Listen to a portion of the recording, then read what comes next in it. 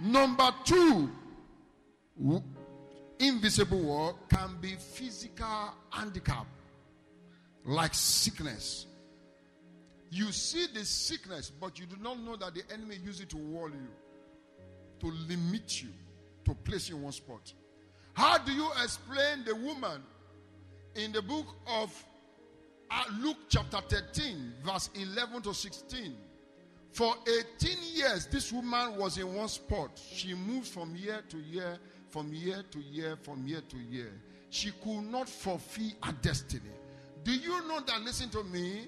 When you are sick, you cannot fulfill destiny. Can I talk to someone here today? Hello?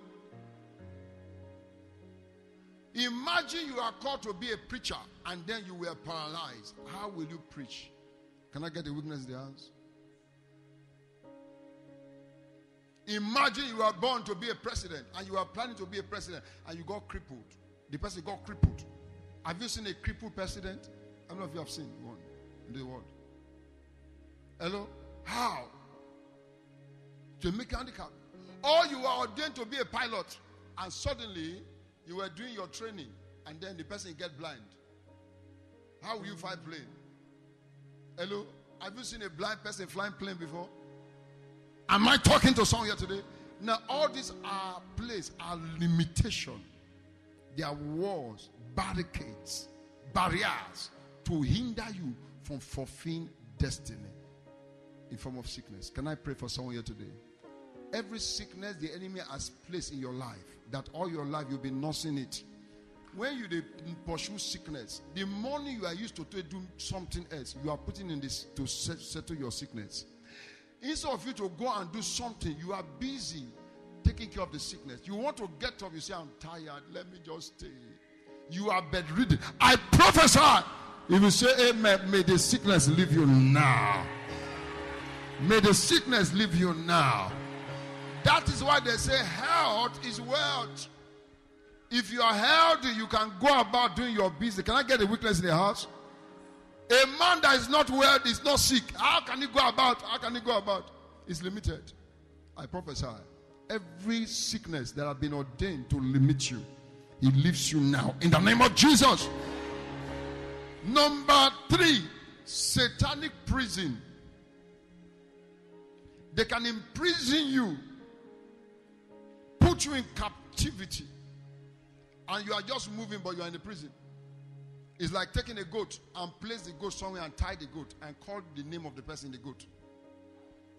Hello?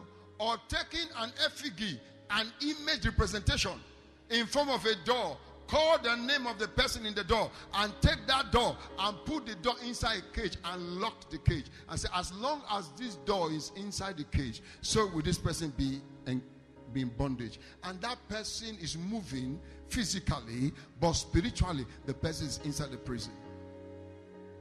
Are you here today? That you have discovered in your life, you don't understand what is going on. Something is telling you, I need deliverance. I need to break out. Something is, I'm feeling limitation around me. I'm moving, oh, I'm moving, oh, I'm walking, oh, I'm doing something, so. Oh, but what happened that I just feel that what happened, I, something, there, there, there's something around me. There's something that is preventing me from, from fulfilling my destiny. I prophesy, if you are that one today, may deliverance come upon you now every invisible prison that they have kept you. If you say better amen, the prison is breaking now. The prison is breaking now. If the prison door in the book of Acts chapter 12, where they kept Peter, could open, I prophesy today in the name of Jesus. Just like Peter came out of the prison in Acts chapter 12, I prophesy. If you say amen, may you come out of the prison now. I said, May you come out of the prison now. May you come out of the prison now. And then finally, the fourth invisible prison is what we call mental imprisonment or mental walls. Mental walls.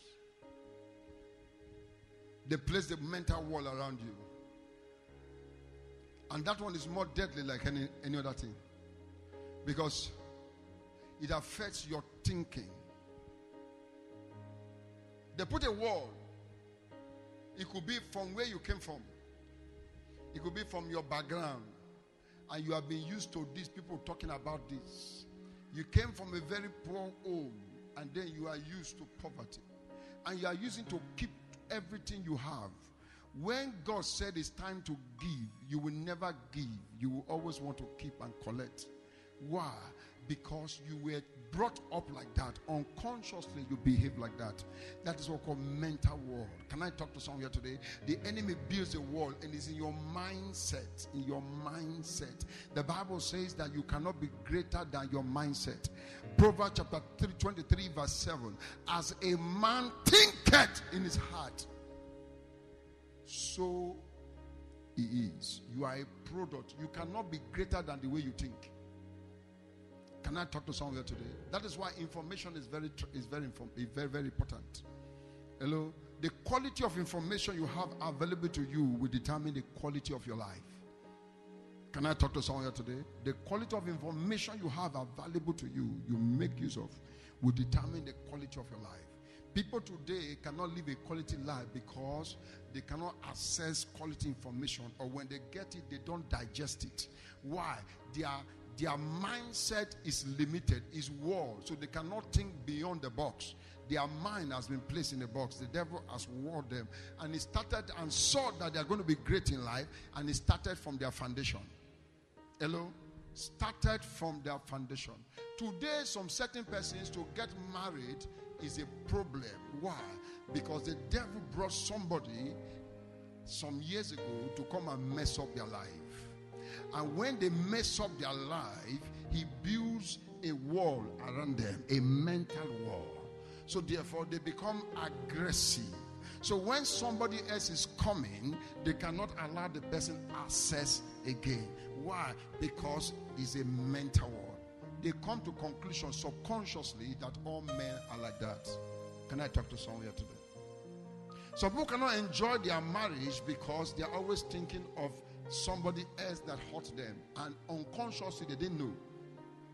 They are acting, reacting the way that person did that. It was a plan work from the beginning to wall your mind, to give you a mental, to make mental walls around you. Can I talk to someone here today? The devil planned it from the beginning. Said, Let me try this.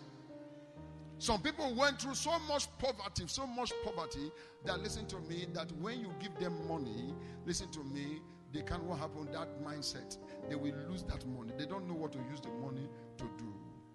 They will do a business that will just psh, they can't think beyond that level. What do you want to do? I want to be selling sweets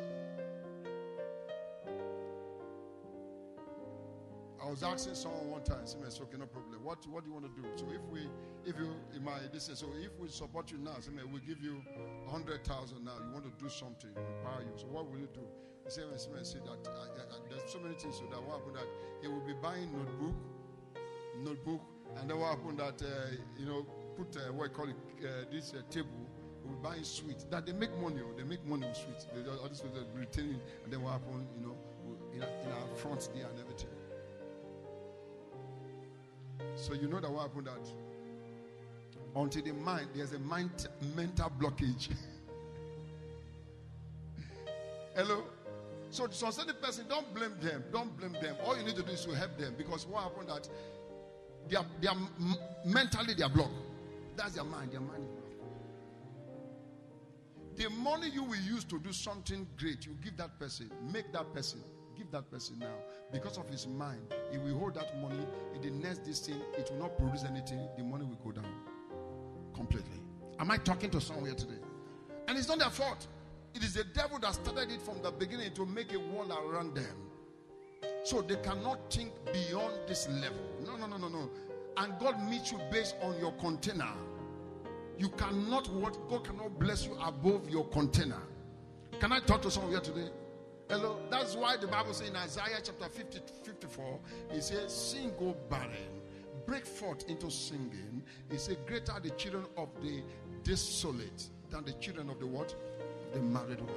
So it begins to say, listen to me, that the one that is barren, there's something responsible for the barrenness. The one that is desolate, there's something responsible for the desol- for the desolation.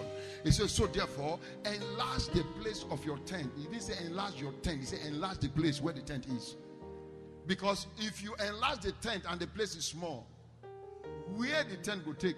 Can I talk to someone? So enlarge the place of your tent. Enlarge your thinking, enlarge your mindset. Some people, sorry, so some churches cannot go beyond what happens. Some people, listen to me, the capacity of the leader determines the capacity of what happened of the church. Either you like it or not, the leader controls everything. If you are the lead pastor, your capacity. There are some persons who they cannot pastor more than what happened. They don't have the capacity to pastor more than 20, 20 people. Or 10. So if you put them, well, but they can't go more than that. No, nothing you are doing. No, there's nothing. Except they increase their capacity. No matter what they do, that's it. So also some certain persons, they cannot go beyond. They cannot handle happened millions, billions. No! Hello, oh, their capacity cannot match that. In fact, if you give them billion now, they will, they Am I talking to someone today? They are confused. They, are, they will be confused. So God is saying, listen to me. One of the things you need to do, we need to break that wall. Break that wall. Enlarge the place of your tent. Then you cannot be enlarging your tent. Can I talk to someone here today? I prophesy to someone here today. I don't know you are, but starting from now, every mental blockage that the enemy has placed today, God is pulling all those blockages in the name of Jesus. Everything the devil has placed since, and they are making you to think. They say, What happened? So what happened? So your coat according to your what? Your size. Not according to your clothes, oh, according to your size. Am I talking to someone here today? Hello? You saw your coat according to your clothes. You can use, you can even do agbada. Am, am I talking to someone here today? Hello? So, you know, so all these things, then and your parents just say, Come, come, come, come.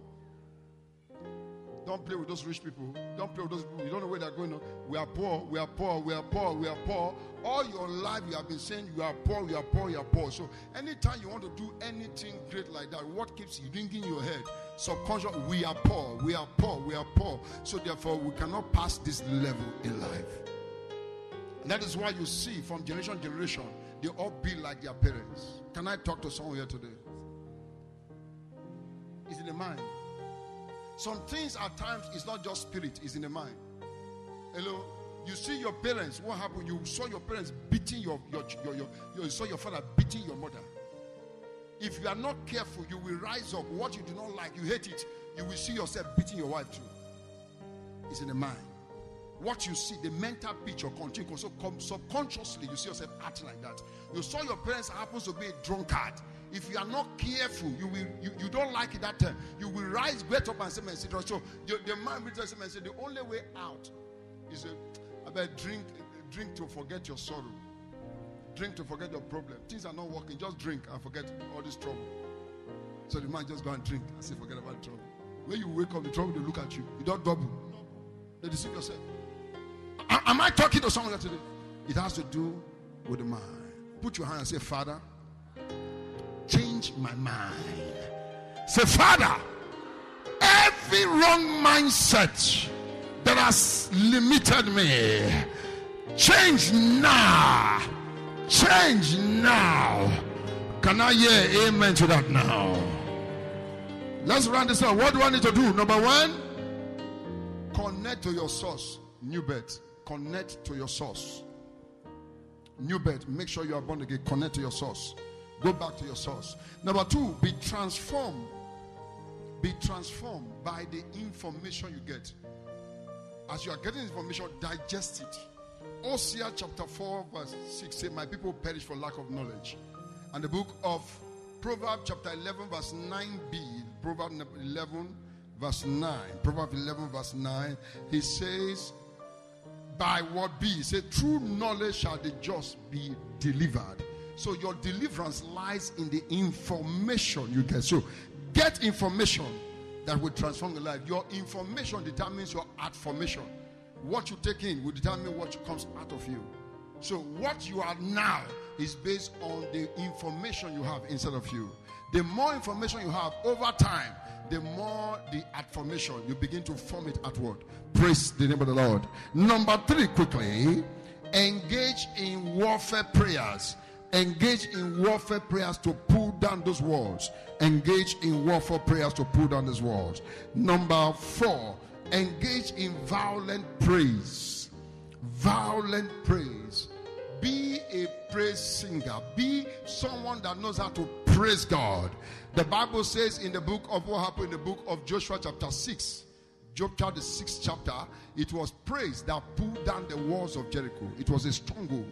No man could have pulled that before, but through praise, it came down. And in Jeremiah chapter 50, verse 15, he talks about praise. Jeremiah 50, verse 15, he says, Shout. What is the shout? Is a shout of victory. Round about her. He said, What happened? Our hand, our, he had given a hand, our foundation fallen, our walls are thrown down. He said, The walls they used to wall against you, he said, The wall goes down.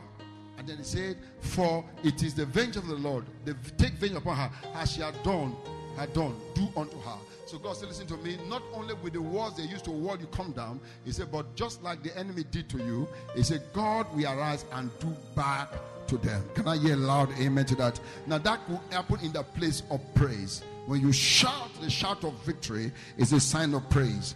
And then suddenly the walls will go down. And then number five, the Bible says Joseph was a fruitful vow. Number five, be a giver. Be a giver. Be a giver. Hello. One of the keys to transformation in life, great transformation, is being a giver.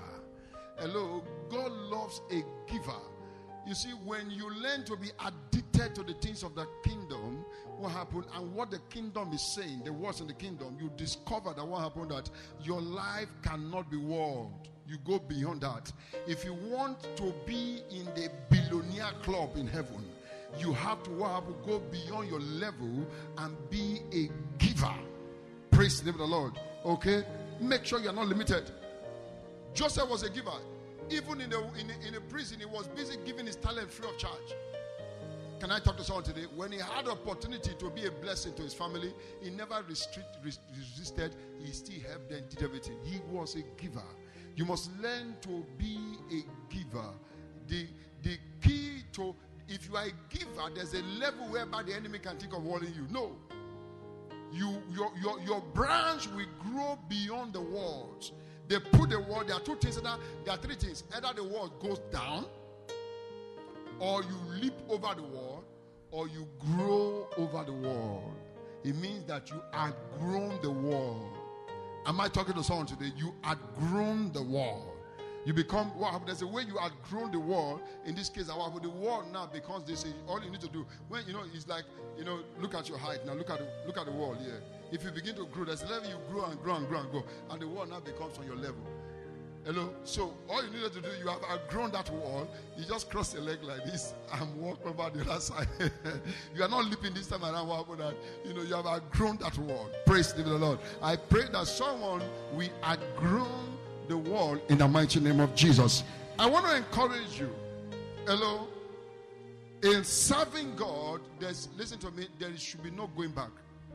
Let your heart be on God and his word be obedient the bible talk about his word you don't follow a part of his word and just say man say because of that i will do this no you follow everything about the word says can i talk to someone here today he says finance up in the book of, of uh, what i call it isaiah chapter 1 verse 19 he said if you are willing and obedient you shall eat the good of the land you cannot be willing and obedient and yet not eat the, the, the good. No. Obedient to what the God we serve is saying, the kingdom. Obedient to everything the word says. And you see that at the end of the day, listen to me, there's no war that can stop you. Look at you and say, neighbor, can I, can I congratulate you? No war can stop you. Lift your hands and say, Father, in the name of Jesus, as I pray this day, to pray for say, Father, as I pray this day, every witchcraft power trying to stop my dream from manifesting, die by fire. Open your mouth unto the God. In Jesus' name we pray. Finally, I say, Father, every wall of limitation erected by the witchcraft powers of my father's house to stop me from fulfilling my destiny collapse now by fire. Open your mouth and talk to God. In Jesus' name we pray. Now stretch forth your hands. I want to agree with you. There might be, you may here today, there might be walls that I've used against you. No one sees the walls, but there are walls there, invisible. Just like we did not fight physical battles, we're taking the battles to the spirit realm and using spiritual weapons to deal with spiritual issues. You don't use physical issues to deal with physical issues.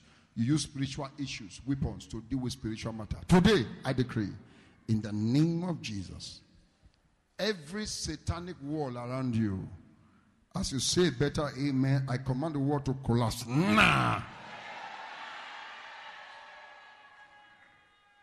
Every mental wall, wall of imprisonment, every sickness in form of war, make you to be handicapped. Whatever they place around you to stop you, just like Joseph, I decree you will grow over the wall in the mighty name of Jesus. You are a fruitful branch. The Bible says that what happened in John chapter 15. It said you are connected to the vine. And because you are connected to the vine, you are not ordained to be barren. You are ordained to be fruitful. And your fruitfulness it goes out to be a blessing. Some people need to stand and start eating your fruit. Some years the seed was sown. And today you are eating the fruit of the ministry. Some are getting healed, some are getting deliverance, some are getting life transformed. Changes are taking place. You are eating the fruit of the ministry. Why? If the enemy has caged me in one spot and I refuse to allow them not to go ahead, you will not be eating this one now. Am I talking to someone today? So I prophesy. Just as the enemy could not stop me, I prophesy they will not be able to stop you. Not too far from now, others will be eating from your fruit. They'll be eating from your fruit. Either you become so much wealthy and be a blessing to people, or people all over the world will be looking for you because of what you have. If you say better amen, is coming to pass in the name of Jesus. May God lift that word before, out of your, your around you, and may God go ahead abroad and advertise you. May your branch grow so much that it will reach abroad. it will reach abroad. It will get to US. It will get to Canada. It will get to Australia. It will get to Africa. It will get to over all over the world. If you say better amen, you will begin to grow. You begin to grow. You begin to grow. You begin to grow. As you grow, you will be beyond the reach of your enemies. The more they are seeing you, they, they, they are only looking at your back. You'll be far, far ahead of them. So shall it be. In the name of the Father and of the Son and of the Holy Spirit. And the children of God will say a loud amen to that.